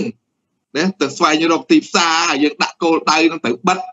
ទោះតែជាយើងអាចទៅរស់ដែរសេដ្ឋកិច្ចរបស់យើងត្រួតត្រងរួចទេវាអត់រួចទេចឹងវាស្មើនឹងដួលរលំទៅហើយគាត់តែនិយាយចេញមកដួលរលំមកឲ្យតែយកខាងហ្នឹងធ្វើជាសត្រូវអញ្ចឹងសារព្រមានរបស់សហរដ្ឋអាមេរិកក៏ជូនដំណឹងរួចហើយបើអាមេរិកដើរច្រកហ្នឹងច្បាប់ Magnitsky Act គឺ ត្រូវតែបំពេញបេសកកម្មក្នុងពេលដ៏ខ្លីខាងមុខហើយអា Magnitsky Act ហ្នឹងវាមានបង្កកទឹកតការវាមានបង្កកប្រាក់ណានៅមាត្រាច្បាប់របស់គេគឺគេចែងលម្អិតណាស់បើសិនជាអនុវត្តទៅលើគេហៅថាច្បាប់ទៅប៉ប៉ះពាល់ទៅដល់មាត្រាច្បាប់ Magnitsky Act ហ្នឹងហើយតែប៉ះលៀមចូលជាធរមានលៀមបាននៃបណ្ដាប្រទេសដែលជាសម្ព័ន្ធមិត្តរបស់សហរដ្ឋអាមេរិកគឺ ធ្វើការដោយស្វ័យប្រវត្តិតែម្ដងបើបើអាមេរិកកាំងបង្កកប្រាក់តាមរយៈប្រើប្រាស់ច្បាប់ Magnitsky Act បានន័យថាគេអត់ចាំបាច់សួរបង្កឯងបង្កឥឡូវអត់មានសួរទេកឯងមកគ្រាន់អាមេរិកចុចប៉ឹបបានន័យប្រព័ន្ធហិរញ្ញវត្ថុដូចខ្ញុំនិយាយចឹងលុយអឺចរាចរប្រាក់ទាំងអស់វាត្រូវឆ្លងកាត់ធនាគារកណ្ដាលរបស់អាមេរិកទាំងអស់អញ្ចឹងបើសិនជាធនាគារណាប្រព័ន្ធហិរញ្ញវត្ថុដែលมันបានឆ្លងកាត់ធនាគារអាមេរិក បានន័យថាប្រព័ន្ធនោះវាអត់ទលំទលាយវាមានដែរដោយពួករុស្ស៊ីដោយពួកចិនច្រើនដាក់កុងតឺន័រយកមកចែកចាយដោយស្រុកខ្មែរយើងមួយរយៈកាលប៉ុន្តែឥឡូវដោយសាររោងតនកម្មពីគេហៅថាអង្គការត្រួតពិនិត្យលុយកខ្វក់អន្តរជាតិគេដាក់តនកម្មមកលើប្រទេសយើងផងដែរតើតើការចរាចរណ៍លុយខ្វះអាហ្នឹងហើយតែអត់ចូលធនាគារមកទៅកុងតឺន័រលៀងពីស្រុកយើងចេញទៅវិញហើយចេញចុះចេញឡើងអាយកមកលៀងវាចូលទៅក្នុងដីអាលុយដែលយើងនៅក្នុងធនាគារ វាចេញទៅក្រៅចិនវាយកទៅចិនយកអស់លេងលុយដុល្លារស្រុកខ្មែរស្រែកចាតណាស្រែកចាតវាមិនដែលលុយស្រុកខ្មែរសុកសុកអស់ទេដោយសារអីអាចិនវាយកមកលៀងលៀងមិនទិញទៅដីឥឡូវទិញដី10000បកើនថា1លានមែនទេ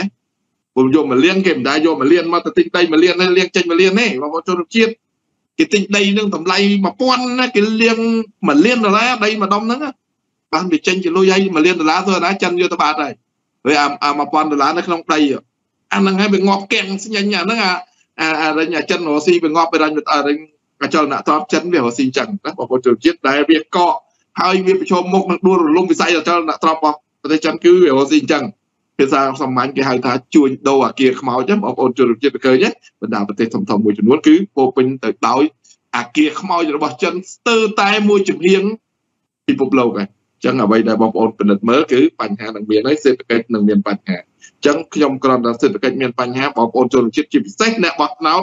ដែលអគុណសន្តិភាពនឹងរងផលប៉ះពាល់កំពុងតែរងផលប៉ះពាល់ខ្ញុំដឹងយ៉ាងច្បាស់បើអត់ជឿខលមកឲ្យទៅរកស៊ីអីចាំប្រាប់ខ្ញុំមានលេខទូរស័ព្ទខ្ញុំដាក់អឺ Facebook ខ្ញុំមានស្រាប់ខ្ញុំនឹងប្រាប់ថាឯងរកស៊ីអីនៅកន្លែងណារកស៊ីយ៉ាងចំណូលប៉ុណ្ណាអាចខលមកខ្ញុំបានខ្ញុំបើកលេខទូរស័ព្ទនឹងឲ្យជាតិបាទអញ្ចឹងខ្ញុំមានមតិយោបល់ទៅប៉ុណ្ណឹងសិនអរគុណចិត្តទៅ សិទ្ធិសូមអរគុណលោកសធិរាបាទខ្ញុំងាកមកលោកសិដ្ឋាឋានវិញម្ដងបាទហើយដូចអ្វីដែលខ្ញុំសូមលើកនៅមតិយើងហៅថាមតិដែលអ្នកគ្រប់គ្រងរបបហ៊ុនសែនក៏តែងតែលើកស្អប់សហរដ្ឋអាមេរិកជាដើមហើយហើយក៏តែងតែលើកឡើងហើយថាអ្នកប្រឆាំងគឺថាអ្នកវិជាតបតៃអាងអីគឺអាងអាមេរិកអាងអីខាងលោកសេរីតើភាសាទាំងអស់នេះគាត់គិតបែបណាឬក៏គាត់ថាការគិតរបស់គាត់វាហាក់ដូចជាកង្កែបក្នុងដងឬបែបណាបើអ្វីដែលខ្ញុំមើលឃើញថាអ្នកដែលយើងចង់បានប្រជាធិបតេយ្យគឺចង់ឲ្យប្រទេសជាតិរីកចម្រើនឯអាមេរិកគឺជាបិតាប្រជាធិបតេយ្យបាទគឺជាគេហៅថាតំណាងឲ្យប្រជាធិបតេយ្យពិភពលោកបាទអញ្ចឹងហើយដែលកំពុងជួយនៅប្រទេសពិភពលោកនេះឲ្យមានប្រជាធិបតេយ្យដែលធ្វើឲ្យប្រជាពលរដ្ឋនោះមានជីវភាពការរស់នៅសម្បូរសប្បាយបាទអញ្ចឹងហើយហេតុអ្វីបានជាជនខ្លះគាត់នៅតែផ្កាប់មុខជាមួយនឹងរបបលហ៊ុនសែនដែលនិយមចិនយួនទៅវិញបាទសូមគោរពលោកសិដ្ឋាឋានបាទ វាបើគេចោទសួរថាអាងអីអាងសហរដ្ឋអាមេរិកចុះគណៈបកប្រជាជននោះមានគណៈពីណាមកបងប្អូនស្ដាប់ខ្ញុំខ្ញុំបានរៀបរាប់ទៅតាំងពីឆ្នាំ1951គណៈបកពាក្យបកប្រជាជនក៏ដូចគ្នាដែរណាអាងអីអាងយួនគឺខ្ញុំសូមឲ្យបងប្អូនយកចិត្តទុកដាក់សម្ដីខ្ញុំខ្ញុំជម្រាបម្ដងទៀតវិបត្តិរបស់ខ្មែរគឺអ្នកដឹកនាំខ្មែរចូលដៃចូលជើងនឹងចោលប្រវត្តិសាស្ត្រ ចោលប្រវត្តិសាស្ត្រគឺចោលយួននេះហើយដែលប្លន់ទឹកដីខ្មែរឥឡូវបើថាសួរថាអាងសហរដ្ឋអាមេរិកសួរខ្លួនឯងទៅវិញមើលពេលអាហ៊ុនសែនវាចាញ់ឆ្នោត93 93ហ្នឹងវាធ្វើម៉េចវាមិនត្រត់ព្រំដែនយួនចំបង្កើតសង្គ្រាមហើយខ្ញុំបានជម្រាបឲ្យតាបើវាស្រឡាញ់ទឹកដីខ្មែរវាស្រឡាញ់ប្រជាពលរដ្ឋខ្មែរវាផ្ដល់សិទ្ធិឲ្យគេតាមតាមរបៀបណាតាមការបោះឆ្នោតតាមត្រឹមត្រូវតាមសិទ្ធិសញ្ញាប៉ារីសិទ្ធិសញ្ញាប៉ារីគេនៅគោរពសិទ្ធិប្រជាពលរដ្ឋខ្មែរគេឲ្យ ទូនាទីនាយករដ្ឋមន្ត្រីនឹងពលរដ្ឋខ្មែរសាមញ្ញធម្មតាមានចេះដឹងមានការយល់ឃើញមានអ្នកគ្រប់គ្រងច្រើនក៏អាចធ្វើនាយករដ្ឋមន្ត្រីដែរហើយចុះអាពួកនេះវាធ្វើម៉េចវាបន្តកូនវាចៅវាហើយអាមិនក៏ចិត្តតែចោតសហរដ្ឋអាមេរិកខ្ញុំសូមជម្រាបហើយណាបើអាស្រ័យនឹងគណៈបកប្រជាជនស្ដាប់ខ្ញុំម្ដងនេះវាគួរតែលែងយកបញ្ហាសហរដ្ឋអាមេរិកមកនិយាយហើយព្រោះខ្ញុំបានជម្រាបរួចទៅហើយបើវាគិតថាយើងអាងសហរដ្ឋអាមេរិកទីទៀតខ្ញុំយកបញ្ហានោះមកនិយាយតែខ្ញុំសូមបន្ថែមបន្តិច តើវានេះតែរឿងអីក៏វាថាដែរបើសិនជាវាចាញ់ឆ្នោតណាយួននឹងវាយហើយណារត់ទៅព្រំដែនយួនក្នុងការវាចាញ់ឆ្នោតហើយវានាំនិគមយួនពេញស្រុកខ្មែរហើយបងប្អូននឹងមិនដឹងថាវាគិតថាយើងស្អីក៏អានសារ៉ាត់អាមេរិកបើវាមិនបំរើនិគមយួនសពថ្ងៃហ្នឹងតើវាឈរជើងបានអត់វាក៏អាងយួនដែរវាក៏អាងចិនដែរអាហ្នឹងហើយដែលខ្ញុំថាស្រុកខ្មែរណាសពថ្ងៃហ្នឹងណាប្រទេសណាក៏លុបដាយមិនបានដែរ ដោយសារស្អីសិទ្ធិសញ្ញាប៉ារីសណាណាគេមិនចង់ឲ្យខ្មែរវិលត្រឡប់ទៅសង្គ្រាមស៊ីវិលហើយខ្ញុំបានលើកចំណុចនោះបញ្ជាក់ឲ្យឲ្យច្បាស់ខ្ញុំថាលក្ខណៈមួយដែលបងប្អូនខ្មែរមើលមិនស្គាល់ហើយមិនឲ្យស៊ីជម្រៅប្រទេសណាក៏លូកដៃមិនបានដែរក្នុងការបោះឆ្នោតក្តីក្នុងការដាក់ទ័ពក្តីណាដោយសារសន្ធិសញ្ញាប៉ារីតែខ្ញុំលើកបញ្ហានឹងមកនិយាយហើយប្រទេសមួយដែលលូកដៃបានគឺប្រទេសយួន ព្រោះហេតុអីព្រោះប្រទេសយួននៅពេលនោះក្រោមការជ្រោមជ្រែងអាហ៊ុនសែនអាក្បត់ជាតិនេះដែលនាំបកប្រជាជនចូលស្រុកខ្មែរបងប្អូនពិនិត្យមើលបើគ្មានយួនលូកដៃនៅក្នុងស្រុកខ្មែរអាហ៊ុនសែនវាមិនចាំបាច់ធ្វើរដ្ឋប្រហារទេដូចខ្ញុំប្រាប់វាហើយគណៈបកប្រជាជនឈប់ប្រើពាក្យអាមេរិកខ្ញុំសូមនិយាយម្ដងទៀតព្រោះបើអាពួកនេះវាគិតពីប្រយោជន៍ខ្មែរអាសែនវាចាញ់ឆ្នោតមកអាណត្តិបោះលើកក្រោយវាក៏មានលទ្ធភាពដឹកនាំស្រុកទៅវាចែកគ្នាទៅ វាធ្វើមិនកើតព្រោះវាបំរើនិគមយួនខ្ញុំសូមជម្រាបឲ្យច្បាស់វាបំរើនិគមយួនហើយបានជាវាក្រាញហើយឥឡូវខ្ញុំយកបញ្ហាសហរដ្ឋអាមេរិកមកនិយាយសហរដ្ឋអាមេរិកណាហេតុអីបានជាយើងមកអ្នកប្រជាធិបតេយ្យបងប្អូនត្រឡប់ទៅមើលប្រវត្តិសាស្ត្រពិភពលោកប្រវត្តិសាស្ត្រពិភពលោក democracy វាកើតនៅសហរដ្ឋអាមេរិកការបោះឆ្នោតមកជំនាន់អាយ៉នអាដាមពេលដែលពួកនឹងវាចាញ់ណា អ្នកដែលចាញ់គេសុកចិត្តបើផ្ទៃអំណាចដោយគ្មានធ្វើរដ្ឋបហាឬការវាយតប់អីគ្នាតាំងពីនឹងមកគេបំពាក់សហរដ្ឋអាមេរិកជាបិតាប្រជាធិបតេយ្យគឺសូមជម្រាបទៅអានឹងហើយហើយហេតុអីបានយើងរត់មករកប្រជាសហរដ្ឋអាមេរិកបងប្អូនតាខ្ញុំរត់សហយុជមករស់នៅសហរដ្ឋអាមេរិករត់រកសហរដ្ឋអាមេរិកដើម្បីប្រយោជន៍ខ្ញុំដើម្បីប្រយោជន៍អ្នកទាំង3នេះគឺដើម្បីប្រយោជន៍ប្រជាពលរដ្ឋខ្មែរខ្ញុំសូមយកឲ្យច្បាស់ថាបើកភ្នែកមើលឲ្យឃើញទៅ democracy ប្រជាធិបតេយ្យគឺប្រជាពលរដ្ឋជាធំយល់ទៅគឺក្បាលអស់លោកដែលគ្រប់គ្រងគណៈបកប្រជាជននឹងហើយជាម្ចាស់ទឹកម្ចាស់ដីណាប្រជាធិបតេយ្យគឺពលរដ្ឋជាធំបងប្អូនមិនមែនមិនដឹងទេគឺក្បាលអស់លោកទៅហើយជាធំហើយសប្តាហ៍លោកបងប្អូនប្រជាពលរដ្ឋខ្មែររស់នៅរបបផ្ដាច់ការតើអំណាចនិងសិទ្ធិរបស់បងប្អូនជាធំឬអត់វាអត់ខ្ញុំជម្រាបទៅវាអត់ហេតុអីបានខ្ញុំថាវាអត់បើបងប្អូនមានអំណាច សិទ្ធិបងប្អូនជាធំបងប្អូនជ្រើសរើសគណៈបកណាមួយជ្រើសរើសនឹងដាក់ដាក់ដឹកនាំណាមួយតាមតែអីដែលបងប្អូនស្រឡាញ់តើបងប្អូនសពថ្ងៃនេះរស់ក្នុងគណៈបកអាថោកទៀបនេះបងប្អូនមានអំណាចដែរខ្ញុំសួរមើលបងប្អូនមានអំណាចដែរសពថ្ងៃនេះបើបងប្អូនមានអំណាចបងប្អូនគ្រប់ត្របាក់ភ្លើងទៀតគេមិនចាប់ទេហេតុអីព្រោះនឹងជាសិទ្ធិរបស់បងប្អូនជាអំណាចរបស់ប្រជាពលរដ្ឋ អានឹងហើយដែលខ្ញុំពេលនិយាយម្ដងឡងតំដៃខ្ញុំមិនធ្ងន់ព្រោះបងប្អូនមិនដឹងថាខ្ញុំធ្វើដើម្បីបងប្អូនទេសប្ងៃនេះប្រជាធិបតេយ្យមើលត្រឡប់ក្រោយបន្តិចទៅ គឺយកប្រជាពលរដ្ឋជាធំហើយបងប្អូនឆ្លើយប្រាប់ខ្ញុំមកវិញមកតើអាសែនសប្ងៃរបស់ផ្ដាច់ការសប្ងៃនេះយកបងប្អូនជាធំអត់ខ្ញុំសុំសួរបើពួកនឹងយកបងប្អូនជាធំខ្ញុំមិនបាច់លុបដែរទេខ្ញុំមិនបាច់ប្រពន្ធសារ៉ាអាមេរិកទេខ្ញុំសូមជម្រាបមួយម៉ាត់ហើយខ្ញុំបានឆ្កោតសួរវាហើយ ស្អីក៏វាបន្តសហរដ្ឋអាមេរិកតាំងពីតលាក់ក៏បាយខ្ញុំយកបញ្ហានឹងមកនិយាយហើយអាស្ក5នឹងសហរដ្ឋអាមេរិកនៅពីក្រោយអត់ណាអាហានអា97ធុរដ្ឋមហានឹងសហរដ្ឋអាមេរិកនៅពីក្រោយអត់ហើយតាមសម្លាប់តាមប្លន់ខ្មែរតាមពីកោះត្រល់តាមពីព្រៃឈើរលងរលត់រលាយទៅហើយហើយបំផ្លាញសង្គ្រោះជាតិបំផ្លាញភ្លើងទៀននឹងសហរដ្ឋអាមេរិកនៅពីក្រោយអត់ហេតុអីបងប្អូនបញ្ចូលបញ្ហានេះមកគិតស្អីក៏សហរដ្ឋអាមេរិកស្អីសហរដ្ឋអាមេរិកខ្ញុំសូមជម្រាប ការតស៊ូរបស់ខ្ញុំនិងអ្នកប្រជាធិបតេយ្យគឺសម្រាប់បងប្អូនខ្មែរទូទាំងប្រទេសខ្ញុំសូមជម្រាបព្រោះប្រជាធិបតេយ្យគឺយកសិទ្ធិបងប្អូនជាធំបើបងប្អូនស្រឡាញ់ប្រជាធិបតេយ្យតើអាសែនមានសិទ្ធិរបស់ផ្លំដីស្រីប្រជាពលរដ្ឋមានសិទ្ធិនាំយួនចូលស្រុកខ្មែរនឹងតើយកមកតេខ្មែរយកប្រជាពលរដ្ឋខ្មែរជាធំអត់បើវាយកប្រជាពលរដ្ឋខ្មែរជាធំវាត្រូវតែទប់ស្កាត់នៅនៃគុំយួនដែលចូលស្រុកងាយមកខ្មែរស្រុកងាយ នឹងការផ្លន់ដីស្រីប្រជាពលរដ្ឋនឹងការចែកអំណាចទៅអាបៈចំគួតតាមតាមដំណើរចាប់របស់វានោះតាមពិតកម្ពុជានឹងស្លាប់ប្រជាធិបតេយ្យរួចទៅហើយអំណាចប្រជាពលរដ្ឋខ្មែរស្លាប់រួចទៅហើយខ្ញុំប្រាប់ទៅចោះឆ្នាំណាដែលស្លាប់គឺ1997ខ្ញុំសូមជម្រាបឲ្យចំបងប្អូនតាំងពី1797គឺអបបំរើនយោបាយយួននេះវាធ្វើតាមតែទំនឹងចិត្ត នេះហើយដែលធ្វើឲ្យខ្ញុំឈឺចាប់ខ្ញុំសូមជម្រាបឲ្យត្រង់ធ្វើឲ្យយើងដើម្បីអ្នកឈឺចាប់យើងមិនបីតស៊ូដើម្បីបើបាក់ណាមួយទេមិនមែនបកប្រជាជនឬអបមិនមែនបកសង្គ្រោះជាតិបកព្រឹងធានទេគឺយើងតស៊ូប្រជាធិបតេយ្យគឺយកសិទ្ធិមកជូនបងប្អូនទាំងអស់គ្នាទាំងថែមទាំងបងប្អូនក្នុងគណៈបកប្រជាជនដែរហេតុអីក៏បងប្អូនក្នុងគណៈបកប្រជាជនសុំគោរពជាមួយនឹងជនផ្ដាច់ការបើឲ្យវាធ្វើតាមតែដំណឹងចិត្តបិទនឹងការបោះឆ្នោតត្រឹមត្រូវ ហើយមិនក៏បងប្អូនមានមានពាក្យមកឆ្កល់ទូសហរដ្ឋអាមេរិកទាំងអស់នោះមិនមែនជាសហរដ្ឋអាមេរិកទេស្អីតែសហរដ្ឋអាមេរិកនិងសង្គមអឺរ៉ុបប្រទេសបណ្ដាប្រទេសដែលគេស្រឡាញ់វិសិទ្ធិគឺគេសុំនៅការបោះឆ្នោតត្រឹមត្រូវបងប្អូនមិនដែលសួរខ្លួនឯងទេហេតុអ្វីអាថោកទៀតអាក្បោះជាតិនេះអាស្រឡាញ់អំណាចនេះវាមិនមិនគោរពនៅនៅការការបោះឆ្នោតត្រឹមត្រូវតាប៉ាប៉ុណ្ណេះបងប្អូនក៏គួរយល់ចេតនារបស់វាហើយមិនបាច់មកចោទសហរដ្ឋអាមេរិកទេដូចខ្ញុំជម្រាបចឹងចោទស្វាទៅ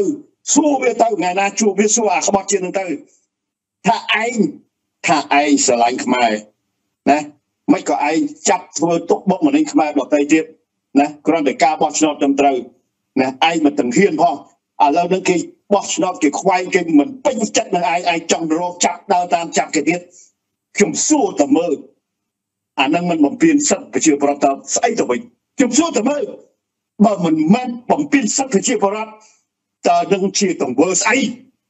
ទង្វើដែលវាផ្លំជាតិទឹកដីខ្មែរសប្ងាយនេះទង្វើដែលវាដេញប្រជាពលរដ្ឋពីលំនៅឋានសប្ងាយនេះទង្វើដែលវាតាមសម្លាប់ខ្មែរចាប់ខ្មែរតាមតែទំនឹងចិត្តទាំងវាទៅអស់ខ្មែរនេះតើនឹងជាលក្ខណៈដែលបងប្អូនចង់បានទេខ្ញុំគ្មានពីអីនិយាយទេបើបងចង់បានរបៀបហ្នឹងណាស្មើនឹងប្រកោតទឹកដីអស់អាជនថោកទាបនិងអាគណៈបកថោកទាបនេះហើយសប្ងាយនេះវាធ្វើចឹងហើយវាចែកតែអំណាចឲ្យគ្រួសារវាទៅណា យើងទាំងអស់គ្នានឹងដើរលើដើរតាមទៅវាទៅណាសន្តិភាពស្រ័យឲ្យសន្តិភាពមានការអភិវឌ្ឍខ្ញុំថ្មីថ្មីនេះក៏គេមកប្រាប់ខ្ញុំដែរកម្ពុជាមានការអភិវឌ្ឍមកណាបកលោកពូខ្ញុំបានប្រាប់មួយម៉ាត់ហើយការអភិវឌ្ឍទាំងអស់នោះក្នុងលក្ខណៈតែមួយគត់បើយើងត្រឡប់ទៅមើលក្រោយបើឲ្យពួកគណៈបកប្រជាជនដឹកនាំខ្មែរសប្ងៃណាគ្មានសិទ្ធិសញ្ញាគ្មានប៉ារីសិទ្ធិសញ្ញាប៉ារីការអនុគ្រោះគុណក៏គ្មានការបោះឆ្នោតត្រឹមត្រូវគ្មាន ត្រូវជាប្រៃខ្មោចហើយវាគ្មានទេការអភិវឌ្ឍទាំងអស់នោះចេញមកពីការតស៊ូពីព្រំដែនខ្ញុំបានជម្រាបប្រមាណដល់ហើយ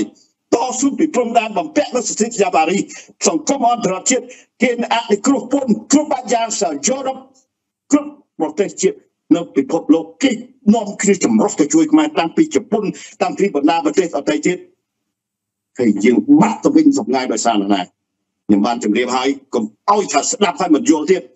គឺដោយសារគណៈបកថោកទៀតនេះឯងដែលវាតាមតែបំផ្លាញប្រជាធិបតេយ្យខ្មែរបំផ្លាញនៅសិទ្ធិប្រជាពលរដ្ឋបងប្អូនគ្រប់បែបយ៉ាងនៅកោះកុងផ្លត់ដីធ្លីប្រជាពលរដ្ឋគ្នាទៅស្តវ៉ាចាប់គ្នាញាត់គុកអានឹងឲ្យបងប្អូនដែលគ្រប់គ្រងគណៈបកប្រជាជនដែរគិតទេតើទាំងអស់នោះជាសិទ្ធិរបស់ប្រជាពលរដ្ឋខ្មែរហើយសិទ្ធិប្រជាពលរដ្ឋខ្មែរនឹងគេចានៅក្នុងលទ្ធិប្រជាធិបតេយ្យគេយកសិទ្ធិបងប្អូនជាធំតែវាបំផ្លាញនឹង ខុសពីខ្ញុំឬខុសពីសហរដ្ឋអាមេរិកឬខុសពីម្នាក់ប្រជាធិបតេយ្យត្រឡប់យល់នៃប្រជាធិបតេយ្យឲ្យពិតប្រកបទៅ ប្រជាធិបតេយ្យបានន័យថាសិទ្ធិប្រជាពលរដ្ឋជាធំខ្ញុំសូមជម្រាបជាលើកចុងក្រោយ ជាសិទ្ធិប្រជាធិបតេយ្យគណៈប្រជាធិបតេយ្យសិទ្ធិបងប្អូនជាធំសពថ្ងៃនេះអានេះវាធ្វើសពថ្ងៃអាថោកទៀតអាហ៊ុនសែនអាក្បត់ជាតិអាគ្រានអំណាចនេះវាធ្វើសិទ្ធិរបស់ វាយកសិទ្ធិគ្រួសារវានឹងធំហើយ